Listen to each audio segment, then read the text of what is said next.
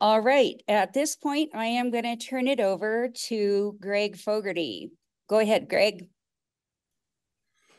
Well, good evening. Um, for those who don't know, my name is uh, Greg Fogarty, and this year I have been asked to perform the role of election coordinator. So tonight uh, we're officially announcing that nominations are open to be made, um, and they are for the positions, uh, that the DAS official, officer positions, I'm sorry, of president, vice president, secretary, and treasurer. We also have eight trustee positions open for nomination. Uh, nominations will close at midnight on February the 4th. Any member in good standing of any, and of any age may cast a nomination. You also may self nominate. Uh, one thing to note if you nominate another person, that person will need to accept or decline their nomination. Uh, um, nominations can be made at uh, nominations at denverastro.com, and I'm sure that will be posted. I'm sorry, Greg. If I wrote that down, it's denverastro.org. Oh, I apologize, denverastro.org. I'm sure it'll be posted online anyway. Mm -hmm. So at this time, I'd like to kick off if we've got any nominations either in person or online. You can do that by raising your hand. And I'll kick it off by no nominating Toby Sheets for one of the trustee positions, which he has okayed me to do. So if anybody has a nomination they'd like to make now, either online or uh, in person, please raise your hand.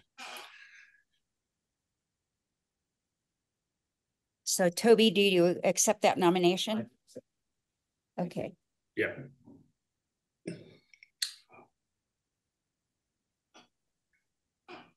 Uh, Joe Gafford, who would you like to nominate?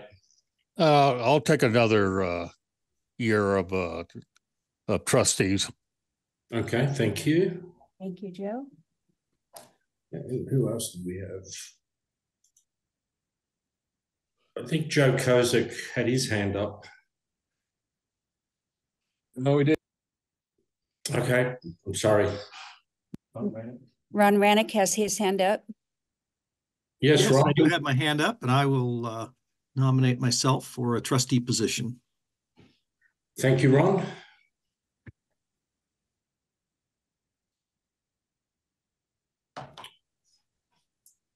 Okay. any other nominations? You got, have you got any in person there, Dina? I'm not able to nominate anyone. No, I did. No, not you. Oh, Anybody sorry. in your audience? Oh, here in the audience. I don't see any hands up here. Is anybody here like to nominate Mm. anyone? Toby, go ahead. I would like to nominate Doug Triggs uh, for president of Denver Oh, wow. Very nice. Doug, do you accept? Yay! Awesome. Very good. Thank you. All right. Well, thank you for that. That at least gets it kicked off. Um, all nominees will need to submit a, a brief statement about themselves before March the 4th. Uh, these will be placed in our election system so voters can make an informed decision. Um, the election will commence on March the 5th at 9 a.m. and will end on March at the March 12th meeting. Um, all members will receive an email invitation which will allow them to place their vote and the, the email will come from electionbuddy.com. So that's our kickoff. Uh, are there any questions or any comments or any concerns? Otherwise, nominations are open. We do have another nomination. Oh, okay. Uh, Joe Pineda votes Steve Barr for trustee. Steve, do you accept? For Tatters. Oh, Tatters? Dogs don't qualify, Oh, sorry. okay. Do you accept, Steve? I accept. Thank you. All right. Um, I should also mention, uh, and everybody probably knows this, except for bundle members, each member can only cast one vote for each officer position and vote for up to eight trustees. Uh, bundle of members, uh, votes will count for two votes for each person for whom they actually place a vote. And I think that's about it. Okay. Anybody else have someone in mind to nominate for any of the other positions? We, we have no nominations for vice president, secretary, or treasurer. Correct, yeah.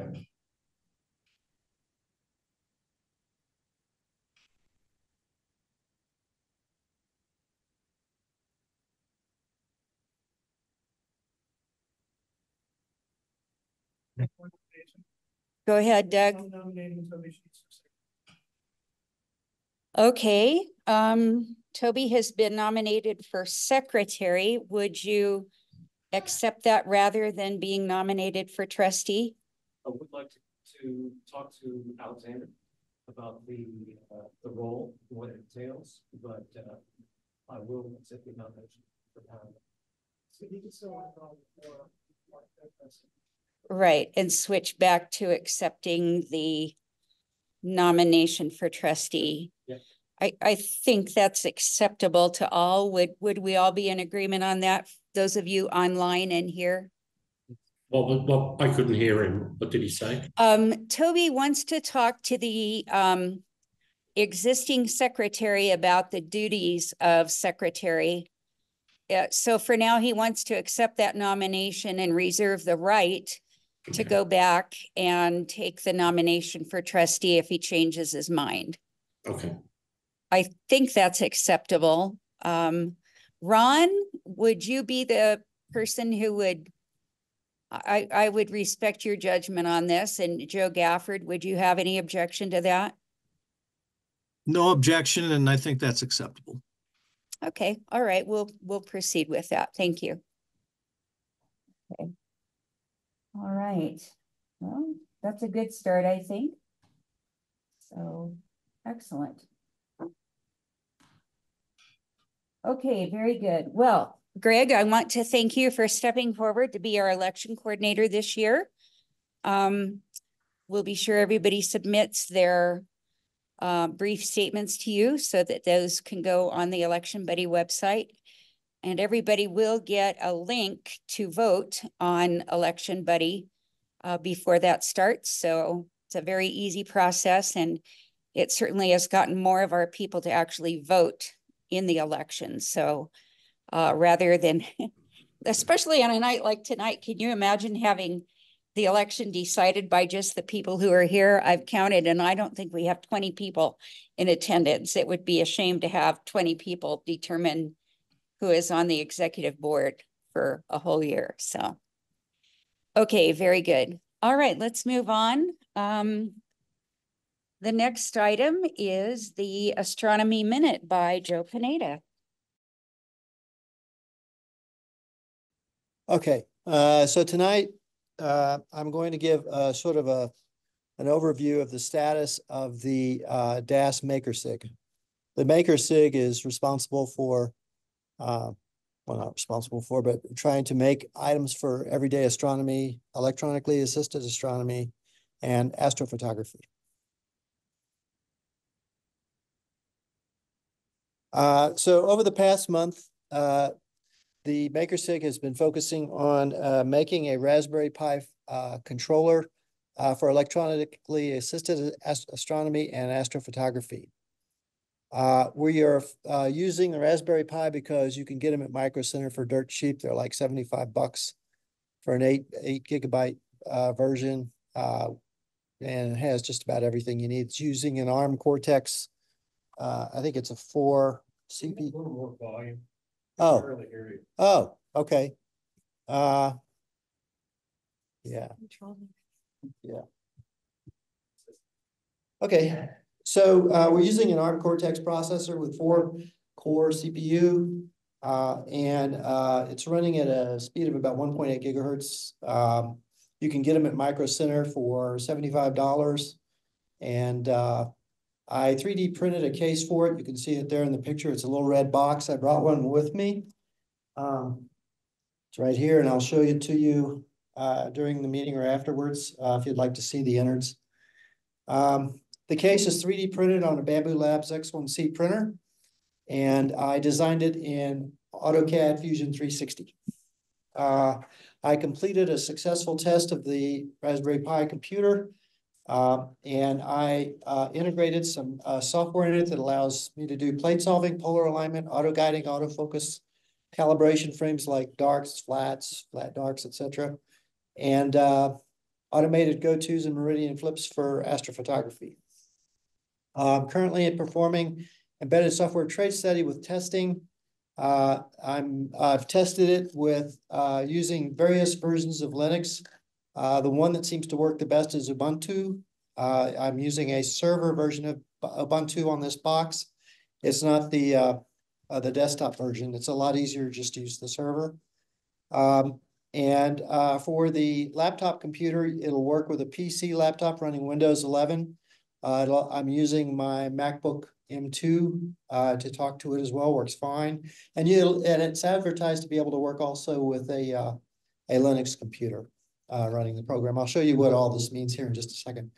Um, and so right in the middle of field tests right now.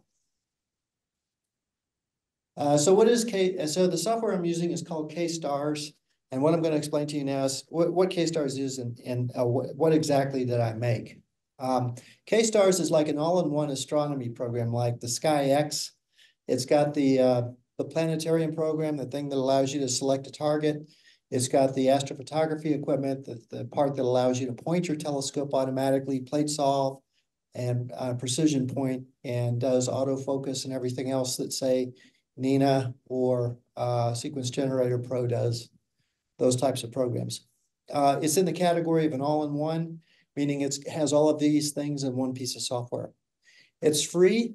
Uh, it's a you can get it at indilib.org. INDI is a standards organization for for astronomy, like ASCOM, uh, but it's not ASCOM. Uh, I've been using it for about a year now, and it works just as well with the hardware I have as I when I was using NINA, which was using an uh, um, an ASCOM uh, drivers. In this case, I'm using INDI drivers.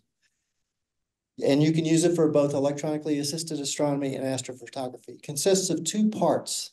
Uh, the, there's a server part, which is the, you might say the ASCOM server. In this case, it's the INDI server that runs on the Raspberry Pi 4B. That's what this is.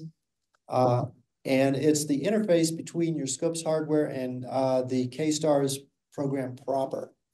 It's a simple XML-like communications protocol described for interactive and automated remote control of all sorts of uh, astronomy hardware. K-Stars uh, itself, K-Stars proper is the control processing and planetarium program, and it can run on either the Linux single board computer, the Raspberry Pi, or on your laptop. So you can decide how you want to distribute the software across your system. There are two principal ways to connect. Uh, the first, and I have a picture of them below. So in the first case, you have your telescope with all its parts uh, connected to a computer via USB.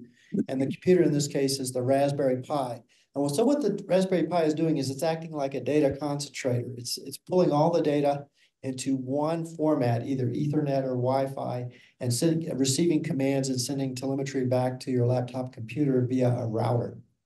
In that case, uh, the Windows computer, if you're doing astrophotography, is in your house, or you might be running it inside, or you could be out in the field with it, it doesn't really matter. And uh, your PC or, or MacBook is uh, running the planetarium, your PHD guiding, uh, all your image acquisition, all of that complicated math is being done on your laptop. And so the, the Raspberry Pi is lightly loaded as far as the amount of work it has to do. In the second case, all of the key software is running on the Raspberry Pi. And it does work. I've, I've done this with uh, Ubuntu desktop and it works great. And so in that case, all you need is a VNC or Microsoft Remote Desktop to communicate with the Raspberry Pi and uh, or any other kind of computer that has VNC uh, does it would be agnostic of the uh, of the computer. So the thing I made is the stuff in yellow and it works with either configuration one or configuration two. All right, if you want, if you didn't want to build one of these, what would you do? So in this case, I have uh other offerings out there that do essentially the same thing. Uh, the one that's the most popular is the ASIAIR. And so what I've done is done a trade study to compare these. The ASIAIR, the cheapest one they make is, is about two hundred bucks. And uh, it supports only ZWO products and some other DSLRs for cameras. And all the ZWO external instrumentation like your autofocuser or your filter wheel, things of that nature. And it doesn't support USB 3.0. The next one up the ladder is three hundred bucks, all the way up to five hundred and fifty bucks. That's the ASI Plus. Um, it does add USB three support and SD card support. And, uh, that one, uh, is still limited to just ZWO products if you're gonna outfit your rig. The third one is the, is basically the same as what I have here. It's called StellarMate. Stellar Mate is the name product of the, uh, K-Stars application. Uh, but it's being sold by one of the guys, probably the guy who actually wrote most of the code. His name is Jasem Mutlaq. I think he went, he has a computer science degree from the University of Kansas. And I think he's currently living in Kuwait. Uh, so he sells this for fifty-nine dollars. And you have to supply the Raspberry Pi and you have to set it up. It's not hard. So if you join the MakerSig, I can show you how to do it. I've actually downloaded this. What's unique about the StellarMate OS is it's the only one I've been able to find that can currently support the Raspberry Pi five, the most recent incarnation of that single board computer. And finally, uh, he also sells, or his company sells, uh, a hardware device called StellarMate Pro, and you can see pictures of it there. It's, it's got the, everything, the whole kitchen sink, um, six hundred bucks for that. And I don't know how much it weighs, but it's probably not cheap. If you want to buy one, you can get it at High Point Scientific. And there's a review online by, some of you know Cuiv, the lazy geek on YouTube. He's got a full, uh, review of this product. Uh, Okay, uh, what I did to build it, uh, so I built it on the number one there. The design was done in Autodesk Fusion three sixty. This is just the case. Uh, and then I printed it on Bambu Labs X one C printer. I assembled the CPU, uh, in, and the fan into the, uh, into the plastic case. And then I added the base, this part on the bottom here, with a DC to DC converter that takes your field power supply, whether it's 12, 24 volts, whatever it is, and down converts it to uh, five volts, which is what the Raspberry Pi wants. And then it's pretty simple to build, I'll show you. And then finally adding and configuring the software, which is where I spent most of the time making this work. And then uh, integrating and test. Uh, the uh, telescope you see there is made by our tonight's speaker, Mr. Vic Maris of Stellarvue Corporation. And I'm very happy with it. That's hundred and thirty millimeter SVX one thirty T, if you're curious about the part number. And I currently have it outfitted with ZWO ASI twenty-six hundred camera, electronic autofocuser, and our homebrew MakerSig guide scope. Finally, a summary of work to date. Uh, most of the work was focused on getting the software up and running. The device weighs six point five ounces. Uh, I successfully implemented both uh, the desktop and server versions of Linux Ubuntu version twenty-two point oh oh four point three on the Raspberry Pi board we be with K-Stars. Uh, K-Stars occasionally crashed in configuration one in the diagram below. I found a workaround. Uh, it's pretty simple, and I submitted a bug report to the K-Stars distributor KDE. Uh, the performance was nominal with the Windows eleven PC, so this bug I just mentioned is only for the MacBook. It worked, didn't have that bug on the Windows eleven version. I'm testing with the RPi five now with StellarMate OS pre-configured software, uh, using Linux Debian. And if you'd like to know more about how this is all done, I go, I'm gonna give a talk on Wednesday. We have our MakerSig meeting in agonizing detail about how all this works. Thank you very much.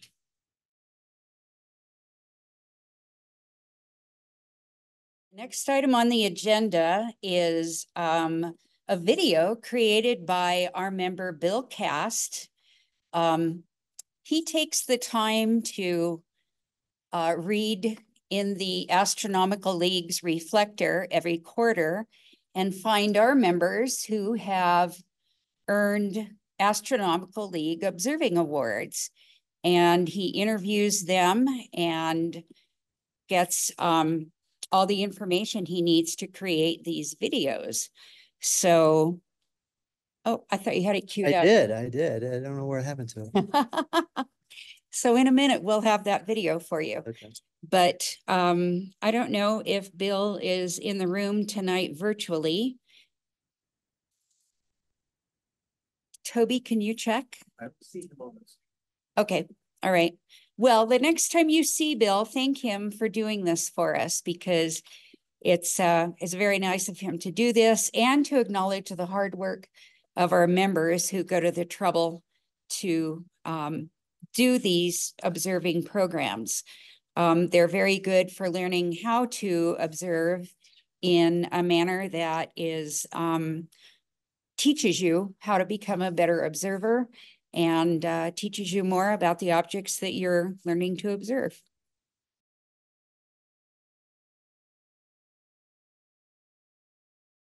It's time to announce the Astronomical League Observing Awards. Pardon. This quarter, DAS has only one award recipient, Mr. Mike Hotka. Mike is an Astronomical League Master Observer and has completed over 60 of the AL observing programs.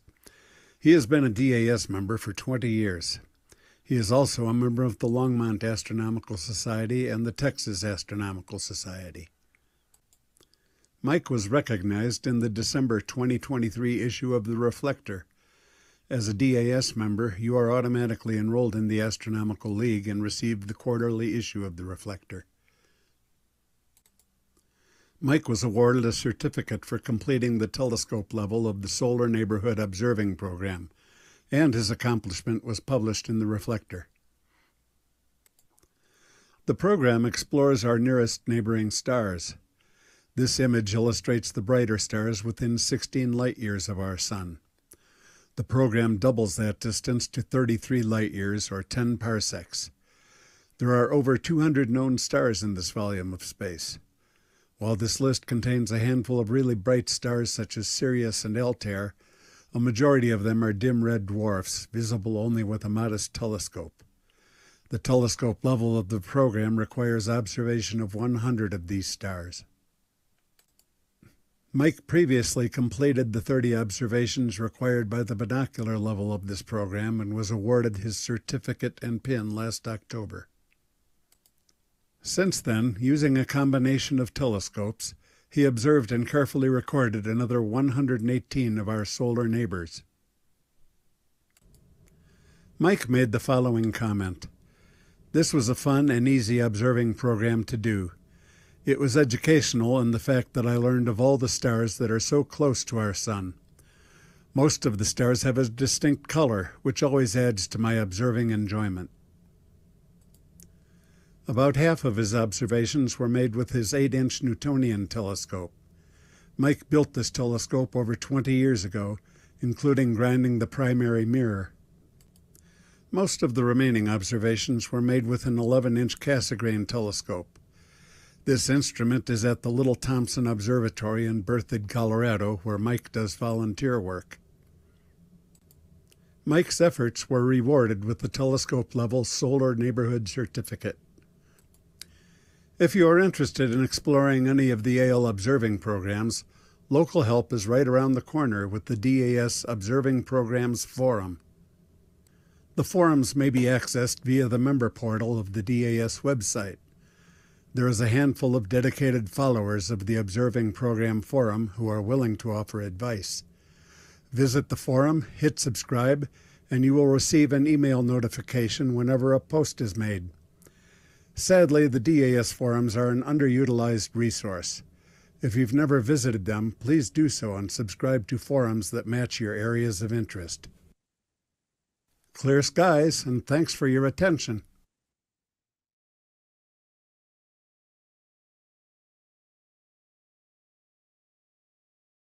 So I'm going to introduce you now. Thank you. Thank you. Stellarvue founder Vic Maris began a lifelong pursuit of astronomy in the mid nineteen sixties after reading the Golden Book of Astronomy. When recalling his earliest memories of astronomy, Vic said, my father bought me a sixty millimeter refractor to encourage my interest in science, but, huh? Oh, thank you. My father bought a uh, sixty millimeter refractor to encourage my interest in science, but that telescope almost ended my interest in astronomy.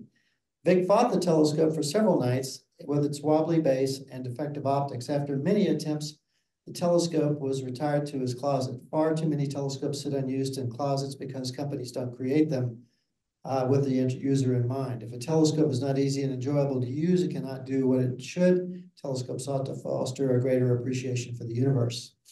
In spite of his first telescope, Vic continued to be interested in the night sky.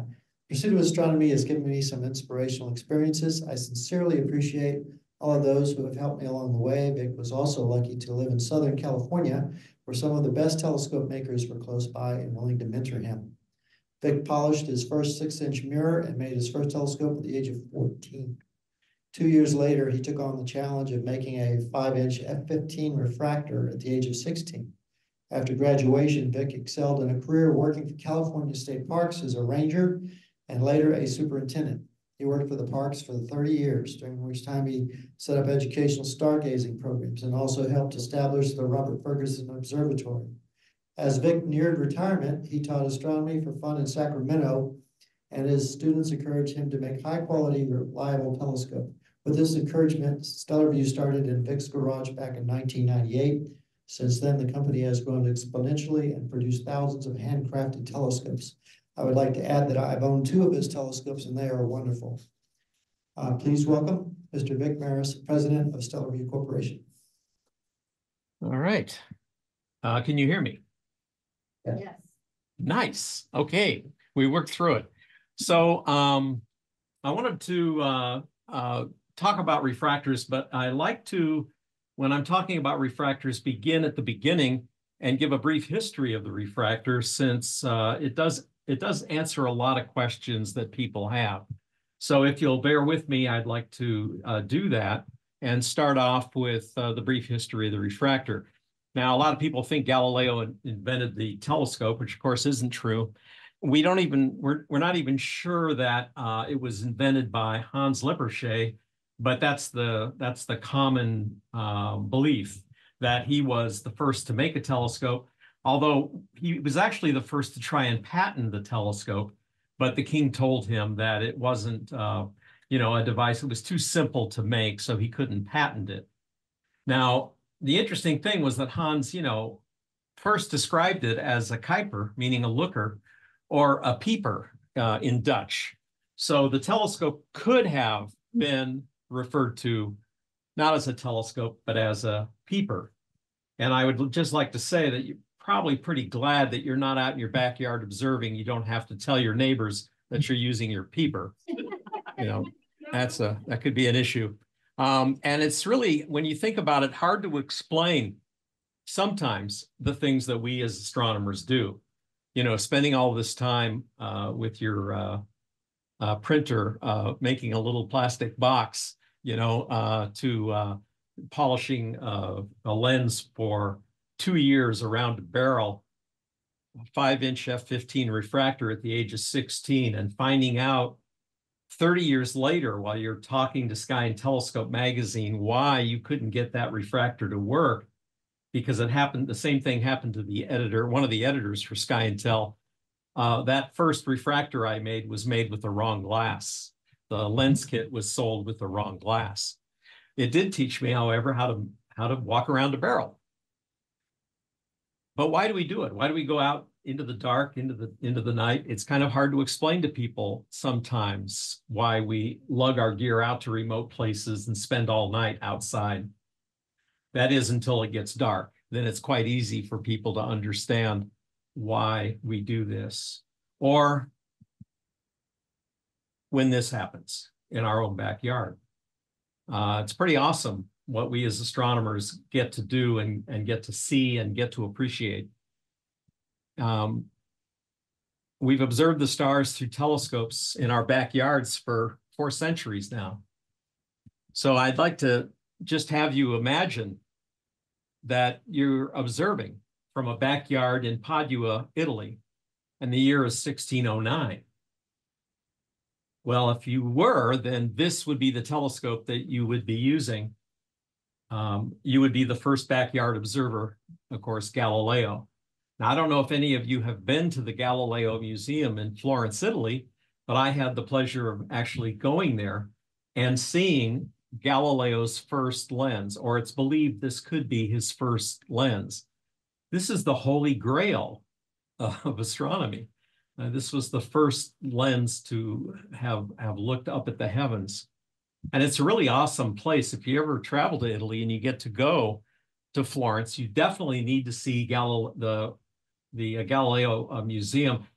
When you're looking at this lens and you turn around and look behind you, there's a relic. You, Galileo was uh, buried in a uh, heretic's grave, and the church changed their mind finally and moved him out of that grave. And when they did, some people took a relic. And um, this, this was the relic they took, his middle finger. And it's interesting that as I turned and looked at this middle finger, I could swear it was pointed at the Vatican, but that's another story. Now, some of you may know, I don't, some people know that I sometimes dress up as Galileo. Uh, when I'm doing my interpretive programs in parks and stuff, and I, I'm talking about astronomy, I will often get into costume uh, as Galileo. At the NEAF show, we do kind of silly things where, you know, we have the Pope, Pope Urban, chasing Galileo around. And the last time we did this, uh, uh, Roland Christen's daughter, Karen, uh, dressed as Galileo's daughter, but but in a miniskirt. Um, so you know, we we we like to enjoy uh, what we do in astronomy. We, at the Galileo Museum, I walked around the corner and my wife said, "Don't move." And I stood still. I said, "What?" She goes, "Don't move." She lifted her camera and she snapped this picture. Oh. You know, if you look at the nose in particular, you know, I could be the reincarnation of Galileo. I don't know, but uh, that was my wife's theory anyway. The thing about Galileo, now to get back on topic, is that he did do a lot of really cool things for, with the first telescope used in a backyard to look up stars. You know, he saw the craters on the moon, the phases of Venus, the moons of Jupiter. He, he actually was able to, to measure the rotation of the sun by looking at the sunspots. He knew there was something weird going on with Saturn, but his telescope wasn't big enough to resolve what it was. But he said there was something different about it. And then, of course, he looked at the Milky Way and saw that the Milky Way was actually comprised of multitudes of stars. Pretty amazing the number of things he discovered using a telescope, you know, no larger than this. The problem with those early telescopes is that they were made with single elements. And a single element lens acts like a prism. Uh, the white light hits it, goes through the glass, and it disperses the colors into all the different colors of the of the uh, spectrum. And so this separation of visible light into the different colors, known as dispersion, is bad. It creates color error in telescopes. And so we don't like dispersion. We like to minimize dispersion. Color error in a single element telescope is excessive since the lens acts like the prism and you can see that all the different colors would come to focus in a different place. Um, it, the, oh, and the dispersion is greater if the lens is shorter. In other words, if it's a shorter focal length lens, the distance between the colors will be greater. So they would often do things like stop down a telescope. Here's Galileo's, the front of Galileo's telescope. You can see the lens was stopped down to make it effectively a longer focal length lens. This got to be pretty crazy about Galileo's time. You know, in 1670, Johann Hevelius, uh, he made a refractor, a six inch refractor, but a single element refractor had to be 150 feet in length. And even so, it produces this weird chromatic image. Uh, by the way, this is not what we call a grab and go telescope, just in case you were wondering. I like to just explain color crossings by uh, doing it in a way that astronomers like us who have used telescopes can understand. We can plot out how these different lenses perform if we use a graph. And on the vertical axis, you have the wavelength, you know, all the different colors of the rainbow, if you will. And on the horizontal axis, you have the focuser position. So if you're at zero on the graph, your focuser is racked halfway out. If you're at plus ten, you're racked all the way out. If you're negative ten, you're racked all the way in. Does that make sense? This is, this is the focuser position versus the wavelength. Through a single element lens, this is what comes to focus. You can see that it only has one color crossing. So if you are at zero um, on the focuser, you're only seeing in, in, in focus purple. But if you're at plus five, now you're seeing green in focus. So it must have been very frustrating to use these single element lenses. Now, uh, when Galileo died, that same year, Newton was born. And of course, Newton was a highly respected uh, scientist who invented the, tele the reflecting telescope. That's why we call it a Newtonian reflector. Newton claimed that false color could never be corrected in a lens. And since he carried a lot of weight, most people believed that and gave up on the, on the uh, refractor. Newton didn't realize, though, that it was possible to combine lenses that disperse colors differently and use them together to cancel out their respective dispersive properties. But a few people did.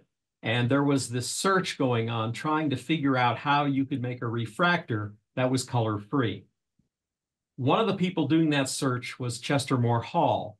Chester Moore Hall was a barrister, which means he was an attorney. So, you know, you could understand that he, he wanted to discover this thing and then he could uh, put a, make a patent for it. So we're not sure, but we think that it was either 1729 or 1733 that he designed a lens to reduce color error. He used a flint and a crown element together. And he wanted to keep this secret when he went to make the prototype. So he used two different optical companies, one for each element, thinking that this would keep the secret. But his plan backfired. And the reason his plan backfired was both of these optical companies hired a subcontractor and it was the same guy. so George Bass uh, gets these two contracts for two lenses that are the same diameter and the inner curves are the same curves. So once he built these lenses for these companies, he put them together and looked through it and figured out that he had been looking through the first achromatic doublet. Achromats have two color crossings. So if you could look around the yellow zone there, you can see that all those colors are pretty much in focus. But if you get down into purple, now you're out of focus. So two color crossings can really correct the color, but you're still going to have that purple fringe. So when you look through your Tasco telescope, uh, your 60 millimeter telescope that you got when you were a kid, and you see false color, well, that's not that does that's not the potential that can be reached with a refractor, but most people have achromats, and so you know they they think that. Um, anyway, so here's this guy, George Bass, walking around with his secret, and you've got Chester Moore Hall, who never actually filed for a patent. So then in 1750, Bass mentioned Hall's lenses to John Dollond, who was in the carpet business. He was quite wealthy. Dollond applied for and was granted a patent in 1758 and started making Dollond achromats, the first commercial achromatic refractors, for which he had a patent on for at least a while. These were awesome because they only had a slight amount of color error and they were as fast as F16. Look at that telescope he's looking through. You know, that was considered a short tube telescope back then. So uh, certainly a lot shorter than Hevelius's. So we still have, we have what is called an achromat, but we still have that purple fringe, as you can see around the star. So enter Ernest Abbe. Ernest Abbe headed the Zeiss company. Abbe was a genius when it came to designing and fabricating optics and to develop optical theory and the math behind it. Abbe reorganized Zeiss and he gave workers better pay and benefits, professionalizing them. He really made a difference in the Zeiss company. And Abbe invented the first color-free microscope lens in 1868. It took 10 elements, but he was able to disperse out all of the false color. This truly color-free objective was known as an apochromat. He also was the first to use calcium fluorite crystal in making an extra low dispersion lens in the late 1800s. Uh, fluorite and super ED glass can be used to make an apochromat with as little as two to three elements because they don't disperse the color. This glass does the opposite of what a prism does. It, it really keeps those colors close together. That's why when you want to buy a, a truly color-free uh, refractor, you definitely want to use very, very low dispersion glass. This is the three color crossings that happen with a refractor, an APO. Uh, all of the colors are in focus. Uh, you have a truly color-free telescope. So to review, an achromat means no color compared to a single element lens that has no color, but there's a purple fringe, whereas an apochromat means seriously no color.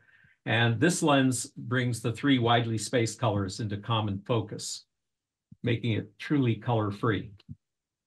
So now that we understand how the refractor evolved, let's look at the differences between premium refractors and reflectors and premium refractors and the imposters. You know, um, reflectors in the real world cost less, much less. You only have one surface that you that you uh, need to uh, to figure and polish. You have lower contrast, but this is offset when mirrors are exceptionally well figured, and there's quite a quite a variety of uh, quality when it comes to reflectors. Reflectors like Newtonians have tube currents. They can be partially offset with fans, but these open tube telescopes, uh, images are going to tend to boil more than they are in a closed tube telescope. They show varying degree of detail on the planets depending on the optics. They may require some assembly on site and collimation. Everybody's used to this. Generally, they require lifting and transporting heavy, heavier components. Uh, it's, but it's the telescope to buy if you're willing to set up and haul a larger telescope and you enjoy deep sky objects. You're not going to be looking at Stephan's quintet through a 60 millimeter refractor. In comparison, true premium Apo refractors perform perfectly without ever needing collimation. There's, there's an advantage. They provide the highest contrast. There is no central obstruction. They perform free of tube currents in that you see in open tube telescopes. They show extremely fine detail on the planets. They provide an extremely wide field of view in comparison. They allow the user to exceed Dawes limit. A high-end Apo refractor on a very steady night can be taken up to 100 power per inch with no degradation. They show all of the above in a relatively small, compact, transportable package. And of course, they're well known for emptying your wallet. So those are the advantages. The thing about uh, refractors is that there are many issues that compromise um, telescopes that people are unaware of. And, and since most nights are fairly turbulent, people can't always tell a good telescope from a bad telescope. Glass is the first thing. Um, there's different grades of glass, and glass can have within it strains and striae. Uh, when companies uh, melt glass and they do it very uh, quickly or relatively quickly, uh, uh, inhomogeneity happens. You you get um, you get the glass cooling too fast, and you'll see either short range inhomogeneity, which is called striae, or you can see long range inhomogeneity that goes across the whole glass. And inhomogeneity it is sort of like saying consistency, the consistency of glass. You can see the grade A on the left has very consistent glass, and that means it's got very consistent dispersion. And the one on the right, the grade C glass, not not very good. I mean, it's gonna it's gonna change as you go through the glass. And um, most Chinese refractors that are inexpensive are made with grade grade C glass. So there are a lot of other problems with making refractors. Um, if you have a, a, refractor with a lens that's 130 millimeter or larger, and it's an air-spaced lens, and you use an aluminum cell, um, that aluminum cell is going to expand and contract at a rate far greater than the glass itself. And so when we make 130 millimeter or larger refractors, we switch to a steel cell. And we learned that from LZOS in Russia. They made lenses that they launched in missiles, and uh, they they they really had their act together when it came to knowing about taking lenses into very cold environments like in space. And so we borrowed that idea from them and we used our, we use steel cells. Now more companies are using steel cells for aerospace lenses that are hundred and thirty millimeter or larger. Um, optics, of course, use curved surfaces to bend light. The accuracy of the curved surface, uh, how close they come to an ideal spherical shape will really determine how sharp the image is. Um, accuracy is measured in wavelengths of light. As many of you know, uh, it's a very small measurement. A piece of paper is 200 waves thick. The optical wavefront really must be polished and figured accurately to within about a 20th wave RMS to really form the sharpest image. That's pretty, that's pretty small difference uh, when you think about it. Piece of paper, 200 waves thick. You got to make the, the curve perfect to within 120th of a wave. So what's the real, real world result of having more accurate optics? Um, one of the ways that I got to see this in person was a night that I was spent, I spent up in the Sierra, right where I am located here, um, just about 45 minutes um, is the uh, Blue Canyon Airport. And the Blue Canyon Airport is where our astronomy club goes, the Los uh, the uh, Sacramento Valley Astronomical Society. And we uh, we put our telescopes on the tarmac of the airport. There's some domes there that the club has. And uh, it, it's not unusual to have 30, 40, 50 telescopes out on a new moon night in uh, on, on the weekend in the summer. And in 19, I think it was 1985, uh, I was observing. Now, I had stopped making telescopes. I had gone off to frolic in parks for 30 years and uh, do that career. And I was just getting back kind of into astronomy and didn't have the time to make a telescope. So my wife suggested I just buy one. So I bought a short tube SCT telescope and I was observing with it this night.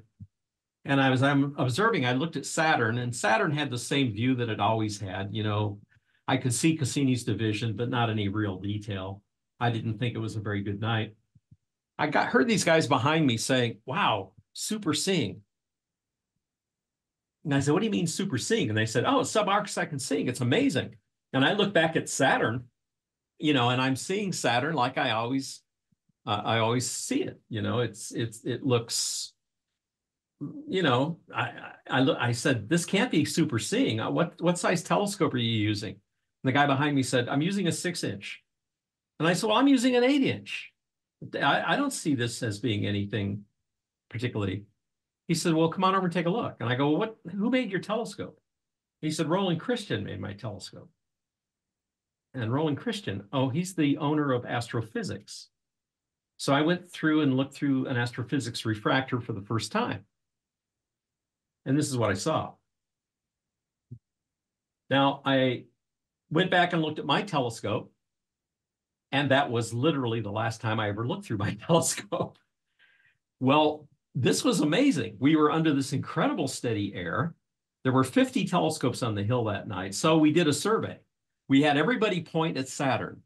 It was the, the word went out. This, this is, we're under super seeing conditions, sub-arc second seeing conditions. And the result of the survey using 50 telescopes was that the Astro-Physics six inch f12 refractor showed us we were under perfect conditions. There was one 22 inch obsession with a very well figured galaxy mirror. And there were two reflectors that were made with mirrors that were made by John Hall, who was a who was a really good mirror maker prior to Zambuto. I mean, it, this was back in the yeah, this was back quite a quite a long time ago, and he's no longer with us. But those telescopes showed beautiful images of Saturn. Every other telescope on the hill, dozens of them, showed the same soft image of Saturn, including a lot of short stubby tube telescopes that were there, a lot of commercial telescopes, and may I say, some that said they were diffraction limited. When somebody says that a telescope is diffraction limited, well, all I can tell you is what we saw. So I've never really uh, understood why people use diffraction limited as a term. Well, I understand optically why, but I don't understand it in the real world. There's also a different impression that you get when you look through a refractor. You know, through an SCT, you look at M13 and you can resolve it to the core. It's beautiful. You see this wonderful ball of stars, but through a refractor, it just looks differently. You know, it, the sky background is pitch black. The stars are pinpoints. There's just a different feeling when you look through a premium refractor at a globular cluster. Uh, you know, it may be to your liking, it may be not. Accuracy is what we're looking for. And of course, people talk a lot about Strehl ratio. Carl Strehl was the uh, the one that came up with expressing the accuracy of an optic in terms of the intensity of light that's in the center airy disk. A perfect optic would contain 83% of the light in the airy disk of the star, the center ball. About 7% should be in the first ring and less than 3% in the rest. Now, if you've got more than 7% in the first ring, you're probably got spherical aberration. And a big fat second first ring is, is going to really indicate that. Um, this would be a perfect optic and it would have a Strehl ratio of 1.0. Of course, nothing in nature can be perfect, so a 0.99 would be about the most accurate optic you can make. A Strehl ratio of 0.95, what, which is a very high rating, was attained by Zeiss. Uh, they stopped uh, uh, uh publishing the numbers. Lomo and LZOS in Russia also started making telescopes that were 0.95, and they really stood out 20 years ago as very, very sharp refractors. Mass-produced commercial telescopes are generally about 0.8 Strehl or higher. Uh, the target or standard for Chinese refractors, according to two senior Chinese opticians I spoke with, is about 0.90, which is about a fifth or sixth wave uh, peak to valley. General Strehl number alone does not identify where the issues are, though. So using Strehl ratio can be very misleading. A high Strehl telescope can still have one or two major issues, uh, believe it or not. So we do not try to hit a Strehl number. That is not what we're doing. When we figure our optics, what we try to do is minimize the common aberrations that are seen in machine polished lenses. That's the that's the magic we do. And it's not really magic, it's just real hard work, as we'll show you here in just a moment.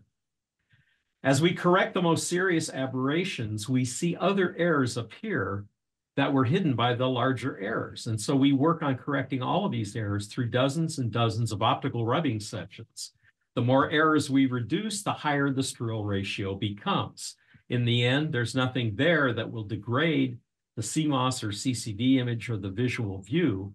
But, and in doing that, getting rid of those aberrations, our Strehl number goes up to a very high number. But we're not trying to do a high Strehl number. We're trying to get rid of aberrations. And I try and make this clear on forums when we're talking about it, because people will criticize us for using a Strehl ratio. But really, Strehl ratio is just where we end up after we get rid of all the problems. We use the industry standard Zygo phase shifting laser interferometer to map the wavefront. Using the Zygo and their developed MetroPro software, we can create an accurate map of the wavefront that is they refer to as an oblique plot, and the plot maps the errors, uh, and master opticians can then correct the errors one at a time.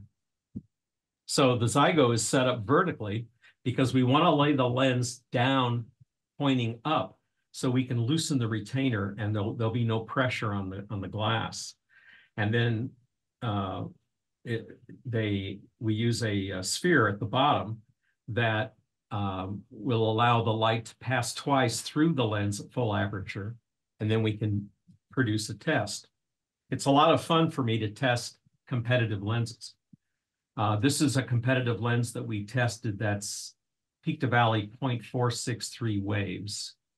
You can see what I talked about when I said the airy disk, that first ring shouldn't be really fat because this lens has spherical aberration. You can see that airy disk that's that little star in the middle there, has a very fat first ring. You can also see on the fringe map to the left of it, those bars are supposed to look like jail bars, but the spherical error makes it really clear. So the test report that we do is really helpful in being able to identify the issues that are in any particular lens. And in this case, the fringes aren't straight and the first diffraction ring is too large. Too much energy there. It's got spherical error. A very common problem is astigmatism. And astigmatism is when the wavefront looks like a potato chip. And that uh, commonly uh, lenses come off the uh, polishing machine with astigmatism. And they really distort things. Um, basically, if light is, if I use an arrow, is that showing? Yes. Okay, so obviously light that hits this low spot is going to focus to a different spot than light that points at the high spot. It's going to focus to a different place. It's going to really distort your airy disk. So astigmatism is a very common issue. There's another issue called trefoil that nobody ever talks about. Uh, trefoil is when you have three low spots or high spots. And what that does is it makes the star appear like a triangle. If you've seen telescopes that have triangular stars, you've seen a telescope that's got trefoil. There's three different things that can cause that. One is the retainer ring is too tight on the telescope. That's an easy fix. But in a lot of the lenses coming in from overseas, we're seeing this either in the glass itself because of long range inhomogeneity, or we're seeing it because of the polishing technique they're using. And I know exactly what they're doing wrong, and I'm not going to tell anybody. Because I don't, I think, I think the Chinese have got too much of the market already. But it's a very common thing. You can look at it, you can figure it out, and uh, a lot of this happens uh, in uh, lenses that I've tested that people have brought by and we've looked at. We've seen a lot of trefoil. This is an interesting one because it's got spherical air and uh, trefoil both. So you can see you got the triangular star and you've got this, this weird shape. Um, we're using as interferometer, a Zygo interferometer that uses a red HeNe laser. That's the industry standard. But of course, these lenses were actually developed, uh, designed and, and made in green light. And so what this should have in a red interferometer is a shape that looks sort of like a W for it to be actually perfect. It's got, this one has a shape like an M, if you can see on the cross section. The, this curve is going exactly the wrong way. So uh, this, this one is, is really a bad lens. Uh, this, this lens has quite a history behind it. Um, a customer called, he bought one of our giant field flatteners and he said, um, I don't think your field flattener works very well. Uh, it's not imaging well through my telescope. And I said, well, uh, what telescope? And he told me what it was. And I said, well, you realize that telescope was made in China. And yeah, I said, well, have you looked through the scope? Can you tell me what the star test looks like? And he said, well, I'm only an imager. I, I, I never looked through a scope. He goes, and I, I want to image with it. I'm, I'm going to Nightfall, which is an event down in Southern California that we have at Anza Borrego Desert State Park. I said, well, I'm giving a talk there. So I'm, I'm going to be there. Um, I'll bring some eyepieces. and let's take a look through your scope. So I met him and I looked through his scope, worst star test I've ever seen. And I showed it to him and explained it to him. And so I said, I'll tell you what, I'll take your telescope and the reducer back and we'll zygo test it. And I, that's where I got the zygo test. Well, anyway, the guy sells the scope you know, on cloudy nights or Astromart, whatever. And he buys one of our 130s and he loves it. Everything works great. About 30 days later, I get a call from a guy. Hey, I bought one of your field flatteners. I don't think it works very well. Um, I realized at that point, I probably should have just bought the telescope from him rather than having this telescope go from person to person to person. Um, you know, everybody, nobody's going to admit they've got a bad telescope. There's a lot of telescopes that have optics that are not so good. This is where we do our optical work. This is one of the buildings that we have, and this is our optical shop. And this is where we do the testing. So right here, you see Alex, my production manager, looking through a telescope that's hitting a 10th wave uh, Zerodur optical flat. And from there, from the optical flat, it goes back to the light source, which is behind him. And all he's doing is he's aligning the telescope uh, optically with a artificial star. This is the Zygo interferometer here, attached to an anti-vibration table. It's extremely heavy table on pistons. It floats, even though it floats and it's very heavy and it does everything. When the train goes by about a half mile away, we have to wait until it passes because it does vibrate. That's how sensitive this machine is. And then here's our double pass auto collimator underneath that we can look at the lenses in different colors with. And then here's four spindles that we use to do the um, figuring of the optics once we've ground and polished them. So that's, this is where it all happens. I want to talk about wavefront. I mentioned the word wavefront a couple of times. We're trying to make a perfect wavefront. Well, in a reflector, it's easy to understand the wavefront because the, you only have one surface that's that's polished and figured. The shape of this is the wavefront, but it's different, of course, in a triplet objective. You've got six surfaces, and these six surfaces create a wavefront just like the mirror does. So when we're talking about wavefront, we're talking about not the shape of the individual surface of the mirror, but we're talking about the wavefront created by six different surfaces. It's a lot trickier to do a refractor than a reflector because you've got six different surfaces you have to deal with. Uh, this is a test report uh, from the last 152 we, we made. So I just thought I'd grab one and show you what our test report looks like on our 152. You can see it's got a nice, beautiful airy disc. Um, it's got a lot of energy in the center. The uh, fringe map, the bars are straight like jail bars. Um, it's got this uh, this curve that's kind of like a W. Uh, it, this this would be absolutely flat if the if we used a green laser instead of a red laser, but Zygo doesn't do that. Um, they use a red laser. There's very little difference between the, the colors actually. So I just wanted to show you what one of our test reports look like. Um,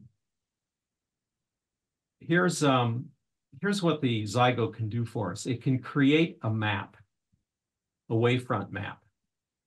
And we can use that when we want to um, polish the lens. We can mark the lens and we can know exactly where to do the rubbing. So um, uh, back to here, uh, we basically will do the optical test here. And then we'll go into the clean room, which is here. We'll disassemble the lens. We'll determine which element needs to be polished. We'll bring it back down here and we'll polish it. We then, uh, we're only touching it for about five minutes, by the way. Uh, and we're fixing things. Now, let's say the lens just came off the polishing machine, or yeah, just came out of polishing, and we're just starting to refigure it. And what problem do we have here? Anybody tell? We talked about it earlier. It's got a characteristic shape. Is the sound on? Yeah. Okay. Looks like a Potato potato chip? chip. It looks like a potato chip. Yeah, yeah. So it has astigmatism. And the thing is, this astigmatism is covering up all the other aberrations that, that lie underneath it. And so when we polish the astigmatism out, you know, this same lens, this is the same lens, looks like this. And so if you look at the difference in waves, negative to positive, you can see that we've now got this thing to a, a very accurate uh, polish. And it's flat because we're going to fix these aberrations in red light to begin with. So this is what we do. And this is the magic behind Stellarvue. We Zygo test the, and map the wavefront. We do an analysis to determine what figuring is needed. In the clean room, we disassemble it. We mount the element to the polishing machine and we precision polish. We do the rubbing that we need to do. takes a master optician to know where to rub using this, uh, using the oblique plot. We then clean the element. We reassemble the objective. We let the objective cool overnight because we've been rubbing it. It's got to cool overnight. Then we have to align it, completely align it again, which takes a lot more time than the rubbing. And then we test it again. And we go around and around and around with this process day after day, week after week, for maybe a month, maybe two months, maybe three months, until we get it to the point where all the aberrations are gone. Once the aberrations are gone, then we do our final rubs to move the center of correction to green light. So we end up with lenses that are that have the most accurate part of, of their polishing in green light. Why do we do this? Well, we do that because we're now using CMOS cameras. We used to use CCD cameras that were most sensitive to red. Now they're green. And the human eye sees in green. And people bugged me in the spring of last year that our lenses should be centered in green, not in red. Now, what's silly about this is that you have a difference between when we do this, we do our 152 in red light. In green light, okay, in red light, it's 0.99 Strehl. In green light, it's 0.98. so there's very little difference. It's way beyond the accuracy that anyone else uses. Um, and I'll, I'll talk a little bit more about that. Here's uh, lens number 118. We happen to do a DPAC on this one to show how accurate the lens is in all three colors, blue, green, and red. But now we've centered it in red, so these are the straightest bars of the three. Um, and so with the 152, uh, we can get it up to a high Strehl ratio. With our F7 telescopes, the Strehl ratios have dropped from 9.9 to about 9.8 because we're now centering not in red, but in green. Does that make sense? Uh, we're just trying to finalize our polishing by centering um, in green. So it's kind of cool having all this wonderful test equipment that we can use uh, to, to actually make the most accurate lenses we can. And the results are pretty stunning. These are some pictures taken through our Stellarvue SVX uh, 180 refractor, which is our flagship. Helix, of course, uh, the clarity in these things, uh, in these telescopes have been absolutely stunning. Uh, these images were taken by Nicola in Spain, Tony Hallas in California. And we even have, we have a movie of Jupiter that's amazing with a satellite going around it. You can see it on our website. So the results of having optics this accurate are, are pretty stunning. And this isn't all Photoshop, folks. This is these images were really sharp in the raw form. Can anybody tell what that is? All right. Yeah. Pretty awesome. It's, you know, for those of, uh, of you like myself who have looked at it uh, all of, all of, all of our lives, you know, but we've never quite seen it like that. You know, it's, it's really pretty amazing how, how these incredibly sharp telescopes can, can do such a great job. Um, especially when people who know what they're doing are using them. So those are some of the images taken with our uh, 180, which is our flagship telescope. And that ends the presentation.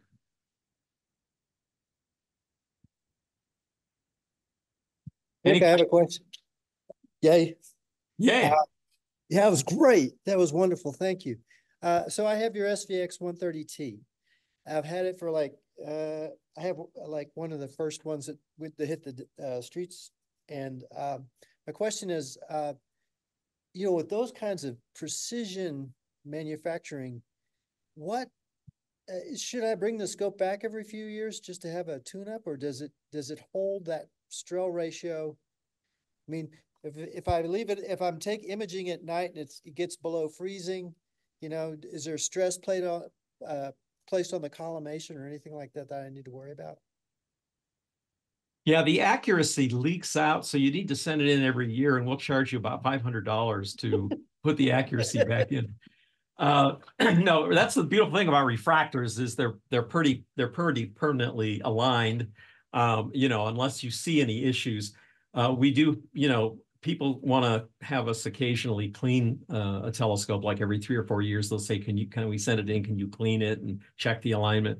We check the alignment and unless they've dropped it or done something radical to it um, the alignments are, are, are pretty much rock solid. The svx telescopes have um, flanges both on the lens side and on the focuser side so we can get the thing perfectly aligned and then we lock everything down real tight. Alex has real strong wrists and uh, he locks everything down real tight. In fact, customers get it and they go, I can't unlock the focuser lock knob, you know.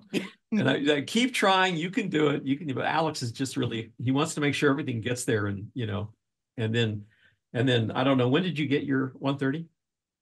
Uh, it's serial number four hundred or something, so I guess it was like two years ago, three years ago. Oh, okay, so you may have gotten it, you, you may have gotten it, uh, before Bria, my, uh, office manager, uh, took a job with us. She made it a real issue to never have a telescope damaged in shipment, and so she triple boxes everything. Yeah, Somebody- it was really well packed. Yeah, somebody, I mean, she's like a Jenga queen. She's with all the foam that's in there with the triple boxing and everything. We've sent the one eighties to Thailand. We've sent them to Spain. We've sent them to Switzerland. No, no issues. Wow. But people think that you just received at your, at your garage, a uh, refrigerator, you know, in the, with UPS. So, uh, but it's of course a telescope in there somewhere, you know, inside of its box. So yeah, it's, if you see any issues, you know, if you want to clean, we'll clean it. It, it takes a while. Uh, because we're continually doing like thirty-six lenses at a time. And we can't just shut down the Zygo, you know, to, to do that. We have to keep, keep going. But what'll happen is we'll, we won't get a, an order of, uh, lenses from the coding lab when they say we will. You know, because we're, they're across country, so, you know, FedEx or UPS or whatever. So when that happens we have a day, we'll go through all of the war, all the warranties and all of the, you know, things that people send in, like, can you clean this for us and stuff. We don't really get too many, you know, we don't really get too many returns. What we get are people who drop their telescope, like on the concrete and stuff. Oh, So wow. then we will take it in at that point. The nice thing is you call us up, you talk to us, we speak your language. And, um, you know, we're astronomers and we don't want to make a profit on your misfortune. So we, we stand behind our telescopes. If there's any manufacturing defect, there is no limit on the warranty. Um, but because we really don't have any manu, we have had a few actually, uh, things that, that broke free and stuff and we fixed them even though they were like six, seven years old. But we have a two-year, you know, basic warranty and uh, um, so, you know, um, but um, you know, people break things sometimes. You know, people will do things. The the the most um, the most threatening thing there is, the thing that you have to really watch out for is carrying your refractor through a doorway and having that fine focus knob hit the door jamb. Oh, That's the most sensitive part of a telescope is the fine focus knob. And once you whack that knob, you might have to replace the entire pinion thing underneath. It's like three hundred dollars. So that's the one thing you always want to be real careful with is the fine focus knob on any telescope. Because that is the weak link. So. Anyway, well, thank you, Vic. yeah. And- Any other questions for Vic? Look online too. Yeah, Or, or you could, you know, there could be questions for Galileo. Um, you know, it's, you know, So, so I'm curious. I, I'm also a, a mirror grinder. I, I ground an eight inch when I was 14 years old, nice. and I'd forgotten about the barrel bit until you said it. I'm, I'm curious with these lenses, that, and I mean, you're talking of incredibly high accuracy. How long does it take to to complete a set for a telescope? And, and how is that viable in a business sense? Because I imagine it's not quick. No, it takes a, it takes a year to make, to make our, an objective. Wow. But, Okay. but it's not, when, when we say it took a year to make your lens, people think we work on that lens for a solid year. No. We work on that lens once, once it's ground and polished and grinding and polishing is, any optical shop can do that. Any optical shop Right. Right. But we're talking about the figuring that we do. Yeah. The figuring is only done for like five minutes or even three minutes at a time. I mean, you're, because you're, we're removing so little material in a specific spot that it's only two or three minutes at a time, but then it's got to cool overnight. And you got to do that whole. Got to do the whole thing, the assembly, uh, the testing. I mean, I'm really lucky that I have people with just the right amount of OCD and ADHD that they can do this because literally I would kill myself if I Oh, yeah, I did the kind of production work that we're doing all day long, every day. But these guys love it because, and they're really challenged and they really want to. The, the way we got into doing this was, and the, we got all this test equipment because we had some, we were doing defense optics. And so we were able to get state of the art equipment that nobody else has in doing that commercial work. And so then we were doing our own optics and we were just Yes, machine polishing them and that kind of thing. And Alex, my production manager, this was probably four or five years ago now, was looking at the test star as I walked by and he goes, wow. And I go, what? And he goes, look at this. So I looked at this and it was a perfect, perfect airy disk, a perfect star test. I said, wow, Alex, this is really a good one. And he smiled and he goes, yeah, I have a confession to make. I've been working on it for six months. Hmm. He kept putting it aside and keep and and and kept improving it. And he goes, Vic, we got to do this. I said, do you realize that we're going to be we're going to price ourselves out of business? He goes, doesn't matter. You know, you can buy cheap telescopes, you can buy, you know, this is going to be different. And he convinced me immediately that we needed to do that. And and that's why we've done it. And so we've chosen to only take 5% of the market. We've chosen to just go to people that are very, very discriminating. And, you know, our feeling is that people are going to eventually find us. They're going to eventually get fed up with the telescopes that they've been struggling with for years, and they're going to save up and they're going to, they're going to, they're going to do it. I mean, look, you know, Joe was a sucker two times with us, right? so anyway, that, A that's happy sucker. that was, yeah, Thank you. yeah. Thank you. That was a great Customers are happy. presentation. Thank you. Yeah, you're welcome. It was a Uh, we have another question. Yeah. Uh, from Ron Rannick. Uh, so he says some APOs use air-spaced elements and some use oil-spaced elements. Is there an advantage to one versus the other? Yeah, uh, the, um. I wanna, I wanna be careful here because I don't wanna, I don't wanna sound like I'm, I'm dissing. Uh, Yuri, he's a great guy and he makes an incredible refractor. He makes oil-spaced refractors and we make air-spaced, uh, refractors. Um, I prefer uh, air-spaced lenses because the designer, it has a lot more freedom in creating six different curved surfaces that are independent of each other. When you do an oil-spaced lens, uh, the inner surfaces have to be exactly the same. So we can get um, uh, a very high spherochromatic correction by doing air-spaced lenses. We did oil-spaced for a while. We did a 130 and a 160 for a while. It was a mess. I hated doing it. You don't have to coat the inner surfaces, so it's cheaper. You don't need uh, very precision um, uh, rings between the lenses, you know, spacer rings. But it's better to, for us, it's better to do air-spaced lenses. And I think Roland uh, now at Astro-Physics is doing uh, combination oil and air. One of the surfaces is air-spaced, so he could get a little better correction. But that's why we do air-spaced. Thank you. Any other questions for Vic?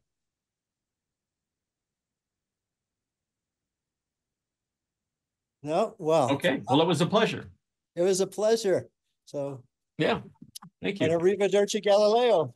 All right, all right.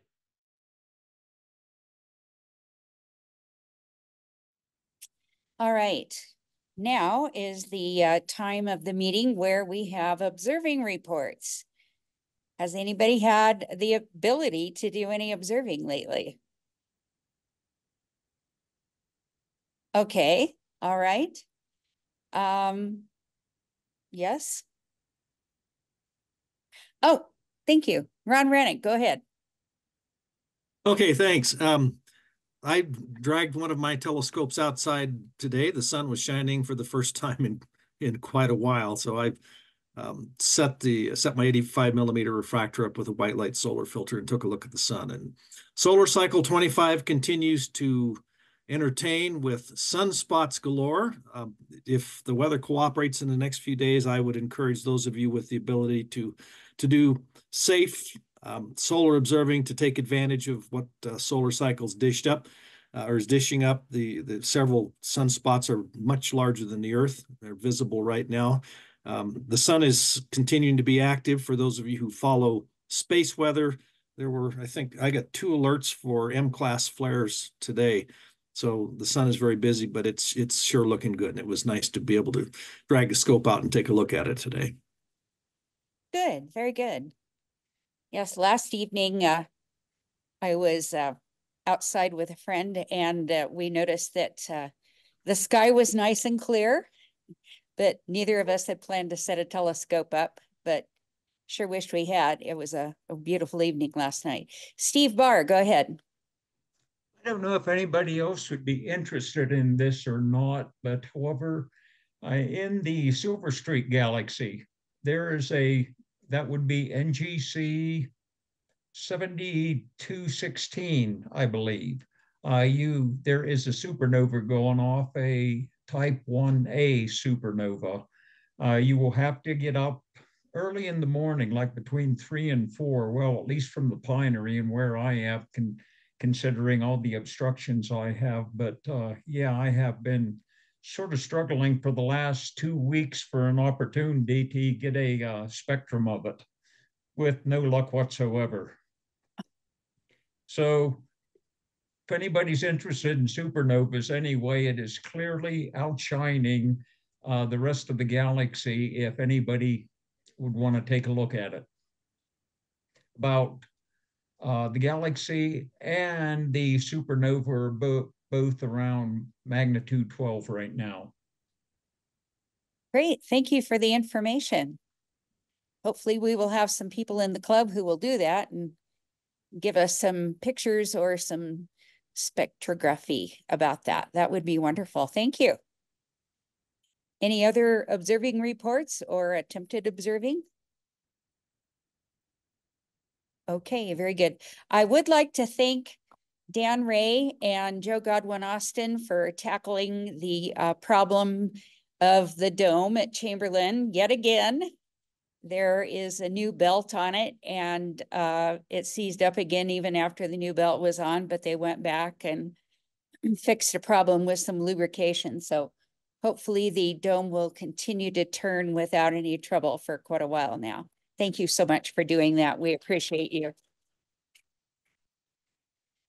And I think that wraps it up for tonight. So thank you, all of you who, who made it into the meeting. Um, and uh, we will see you again soon. Thank you so much.